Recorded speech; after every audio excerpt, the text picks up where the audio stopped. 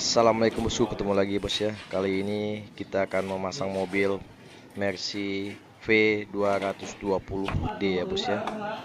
Untuk pemasangannya kita setengah body ya bos ya. Sesuai dengan contoh yang ada digambar di video di bawah ini ya bos ya. Nah ini kita lakukan pengeblokan dulu ya bos ya. Setelah kita blok semua di atas kita akan kasih list nutnya ya bos ya Nah ini bumper depan bos ya. Kita blok juga ya bos ya. Di sini kita kebanyakan ngeblok bos. Baru kita potong. Nah untuk di atasnya nanti ini bos ada list nut kecil 5 mili di atasnya bos ya. Seperti contoh di gambar bawah video ini ya bos ya.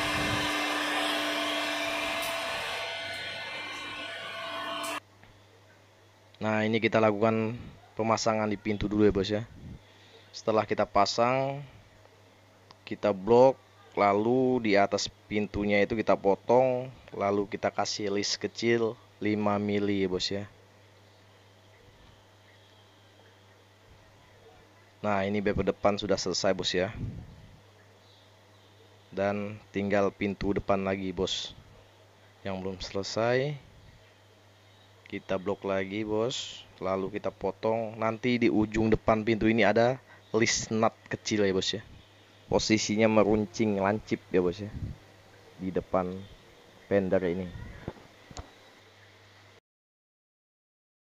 Ini bekasi belakang bos ya. Nah seperti ini bos listnya jadinya bos ya. List panjang ke depan meruncing. Nah ini listnya bos ya udah kelihatan ya bos ya yang belakang. Berbentuk list kecil. Ini kita pemasangan bekasi belakang dulu ya bos ya. Nah itu bos listnya bos ya. Ke belakang lalu menekuk. Oke bosku inilah hasilnya bos ya. Seperti inilah bos ya hasilnya bos ya. Nah listnya bos ya di atasnya. Kita kasih list seperti gambar. Nah ini ya bos ya. Ini kita menggunakan bahan Mac Decal ya bos ya. Hitam glossy ya bos ya. Setelah kita pasang stiker hitam glossinya lalu kita coating bos. Lebih timbul lagi hitam glossinya lebih mengkilapnya bos ya. Ini kita pakai coating ya bos ya. Lebih mengkilap lagi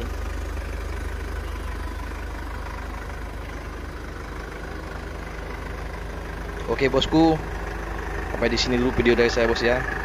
Terima kasih sudah mengikuti video dari saya bos ya. Thank you bos.